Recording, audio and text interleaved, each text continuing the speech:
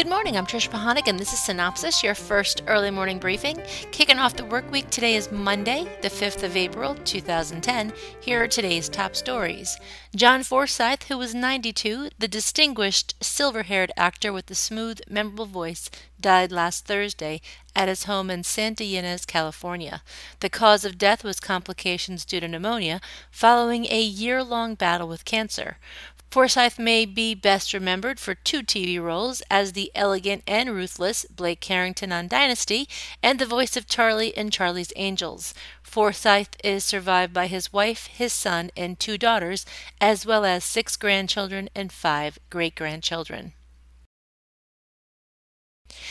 Top 10 weekend box office estimates April 2nd through the 4th, 2010. Clash of the Titans from Warner Brothers $61.4 million for this opening weekend. Tyler Perry's Why Did I Get Married? 2. From Lionsgate, 30.2 million opening weekend. And How to Train Your Dragon from Paramount, 29.2 million and a two-week total accumulating to 92.3 million. The Weather Channel is the first news information cable network to reach the 100 million subscriber milestone. The 24 7 network is also the second most widely distributed network overall. ABC Family cast Chad Lowe as a regular for its upcoming drama series Pretty Little Liars. Lowe will play the father of one of the four teenage girls the drama revolves around. And also at ABC Family, Gina Torres was cast in their new series Huge.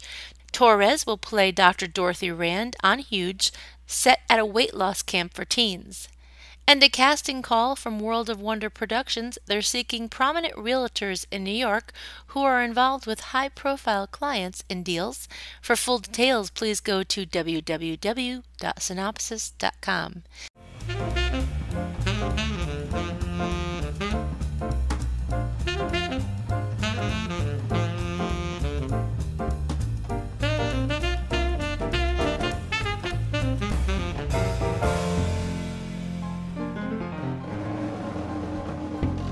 And that's going to be it for today. Be sure to check your email for the full printed version of today's Cynopsis with new executive moves and more on ratings, some new classified ads, a few other bits and pieces that did not make it into this podcast, and check out tonight's primetime broadcast lineup.